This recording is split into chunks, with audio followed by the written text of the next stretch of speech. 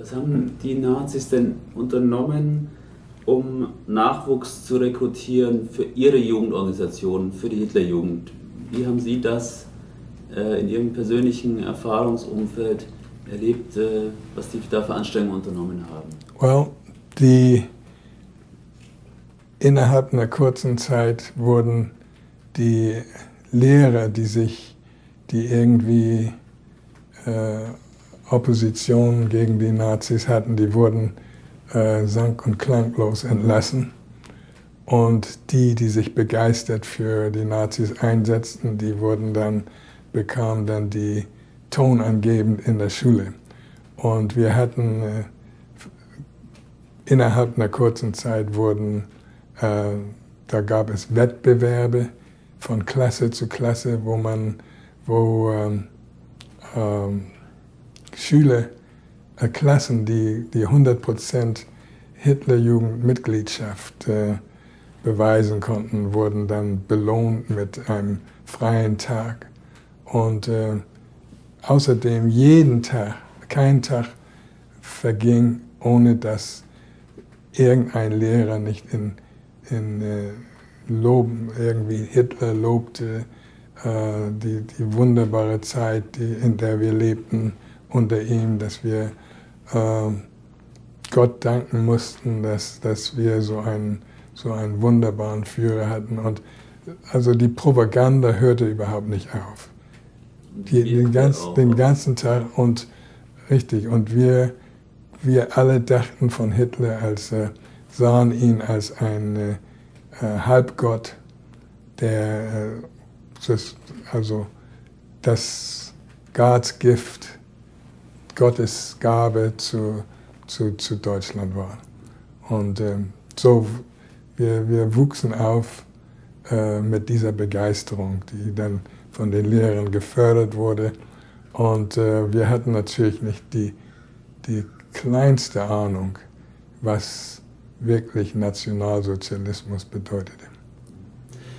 Ähm, könnten Sie noch mal ein bisschen genauer beschreiben, welches Mittel Ihr Lehrer einsetzte, um Sie dazu zu bringen, zum Jungvolk zu gehen, also die, die Klasse dazu zu bringen?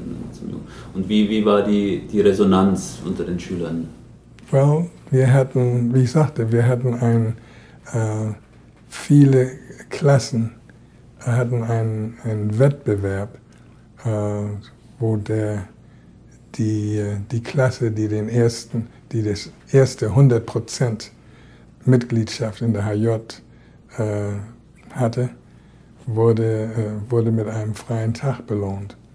Und wir äh, zum Beispiel in meiner Klasse, der Lehrer hatte eine, ein großes Quadrat auf die Tafel ge geschrieben, gezeichnet mit Kreide und mit vielen kleinen, jeder, jedes, jedes Quadrat stellte einen Schüler dar. Und jeden Morgen, wenn wir mit dem Schulunterricht anfingen, dann wurden, wurde gefragt, wer ist gestern in die Hitlerjugend, in diesem Fall das Jungvolk, eingetreten. Und dann meldeten sich äh, vielleicht drei, vier und dann wurde ihr Name in diese kleinen Quadrate geschrieben.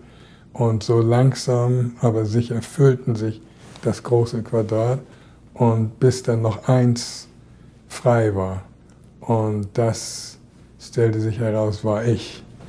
Und Wollten ich, Sie auch ins Jungvolk? Und bitte? Wollten Sie auch ins Jungvolk? Oh, absolut.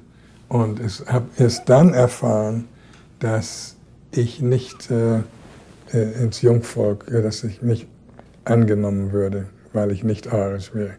Und das war für mich ein, ein riesige, eine riesige Enttäuschung, die dauerte eine ganze Zeit, äh, das zu überwinden, weil eben ich wollte mit dabei sein. Ich wollte genauso wie meine Klassenkameraden sein. Ich wollte keinen Unterschied. Und äh, das, wie gesagt, war eins der, war eine, eine riesige Enttäuschung und es, von der ich dauerte lange, bis ich mich davon erholt, erholte. Denn es bedeutete jetzt, dass ich wirklich nicht mit dazu. Ich war anders und weil ich anders war, durfte ich nicht zu meinen Klassenkameraden gehören.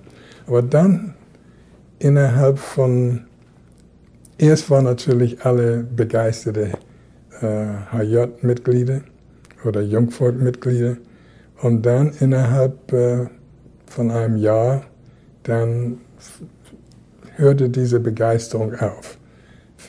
Nur ein kleiner Kern von richtig Gong-Ho äh, Jungs, die HJ-Mitgliedern, behielten ihre Begeisterung für den Führer. Die anderen, äh, nach, nach, einem Jahr, wie gesagt, die gingen nicht mehr zu diesen wöchentlichen äh, Treffen und äh, trugen ihre Uniform nicht mehr.